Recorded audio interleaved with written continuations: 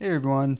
So if you're like me, you may have been going into your settings uh, and then going into About Phone and pressing Software Update, looking for the latest version of Android 5.1, uh, seeing that other devices are getting it, but wondering why you're not getting it yet, wondering where the over-the-air update is.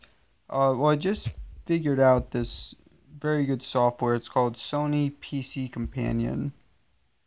So you're gonna want to do this on your uh, on your PC. But anyways, click on this link, the top link, and then press find your product. And just type it in. So I'm gonna type in Xperia Z3 Compact.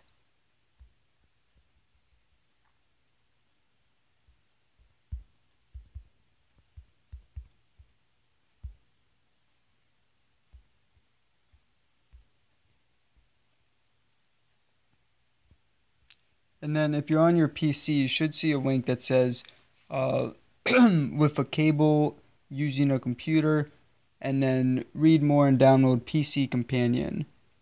Uh, and then you can also download Bridge for Mac. But anyways, with that, what you'll be able to do is you'll be able to connect your uh, Xperia to your PC, and then it should automatically download the update. Like if it's available in your country, it will automatically download it.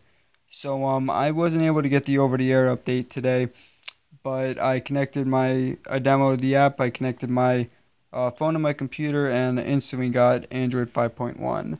So um, I'm sure some of you guys are already aware of this, but I wasn't aware of it. So hopefully it helps out some of you guys. And thanks for watching. So let me know if you have any questions.